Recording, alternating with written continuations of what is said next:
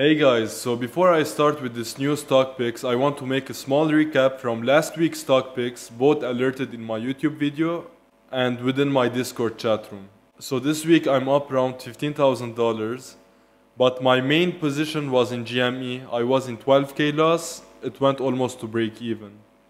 Uh, I share all my wins and losses here, you can join and check.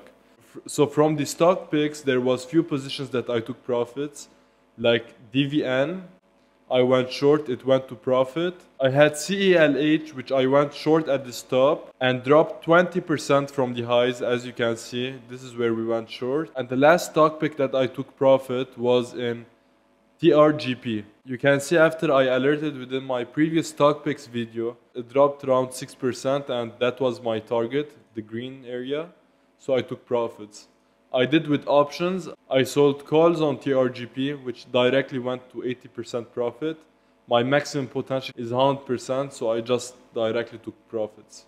So let's start with the new stock picks. Let me share my perspective on SPY this week. I have the same perspective as last week. I'm still not sure if the market will continue the uptrend or will drop. So with each long pick, I'm going to pick a short with it. So we'll be hatched both ways. And if drops, we'll add more long positions. And if it goes up, we'll take profit on the long ones and we'll go short more. So there won't be a lot of positions this week because I'm not sure where the market will go. I'm going to pick two longs and two shorts. If the market drops to this area, I'm going to start back adding my long positions.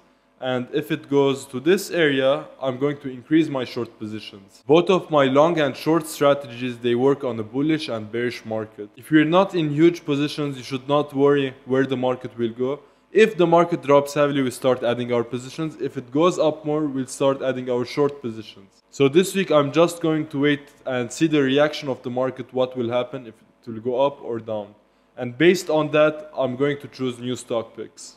So let's start with the new stock picks. The first stock pick is on IBKR, Interactive Brokers. I personally think Interactive Brokers is a great buy at this level. It's close to 200 moving average and I expect a bounce back from this area. It was consolidating this level between 40 and 60 dollars and started the uptrend. We're around 62% on the Fibonacci retracement level and it's close to 200 moving average, which is a good buying zone for stocks on uptrend. So I bought this area and I have a target around 72 and after that you can use the 9 exponential moving average to let your winners run. You can keep a space to average down to $56 which is at 0.5 Fibonacci retracement level. The second stock pick is on Caterpillar. After the COVID crash it has an amazing uptrend and currently started to pull back.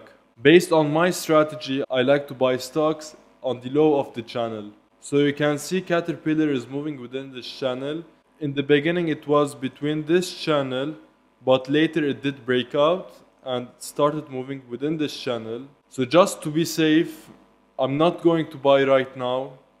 You can start buying now, but I don't recommend. I just start buying when the stock drops to the low of the channel, which is around 212. I'm still giving some space. So after I buy, my target will be around 230. It's a low risk, medium reward play. So if we buy around this area, if it drops and we buy around that area, and if we wait our target, that's around 12% profit. The third stock pick is short on DocuSign. This short is purely on technical analysis, not on the fundamentals of the company. You can see here it has a great resistance area and here a great support area. And almost every time it goes to the resistance and almost every time when it goes to the resistance area, it starts dropping back. So I'm going to play the same play again. I just went short now and I expect a pullback to this level, which is around 10% profit, which is great if the market drops a bit. And that's where I'll get out of my trade. And the last stock pick is short on CLF.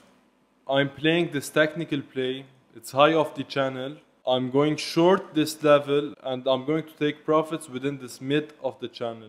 And that will be around 10% profit.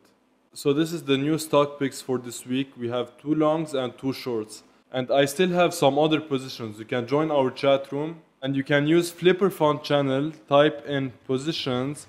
You can currently see I have these positions which they are almost all in profit like Disney, Tesla, ICE, and the other positions. And if you want to check all trades, you can either check in swing sell alerts or type in trades. The bot will send you an Excel file where you can see all the trades. So thanks for watching. See you in the next video.